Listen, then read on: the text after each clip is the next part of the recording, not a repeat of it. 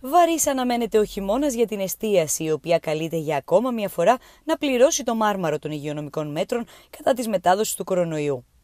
Οι ιδιοκτήτες χειμερινών καταστημάτων υπό κανονικές συνθήκες αυτή την περίοδο θα είχαν ξεκινήσει ήδη τον προγραμματισμό και την προετοιμασία για τη λειτουργία των επιχειρήσεών τους. Κάτι όμως που δεν μπορεί να συμβεί με τα σημερινά δεδομένα, με αποτέλεσμα ο κλάδος να βρίσκεται για ακόμα μία φορά αντιμέτωπος με την αβεβαιότητα.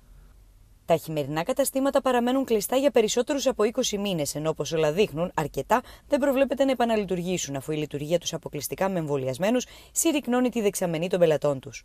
Βάσει των πανελλαδικών στοιχείων, πλήρως εμβολιασμένοι είναι περίπου το 60% των Ελλήνων. Από αυτό όμως πρέπει να αφαιρεθεί το μεγαλύτερο κομμάτι που στηρίζει τις επιχειρήσεις της εστίασης, δηλαδή τα άτομα νεαρής ηλικίας, στα οποία ο εμβολιασμός παραμένει σε χαμηλά επίπεδα. Αντίστοιχα, πονοκέφαλος για τα οικογενειακά εστιατόρια αποτελεί και το γεγονός ότι τα παιδιά κάτω των 12 ετών για να εισέρχονται σε κλειστούς χώρους εστίασης θα πρέπει να υποβάλλονται σε rapid test.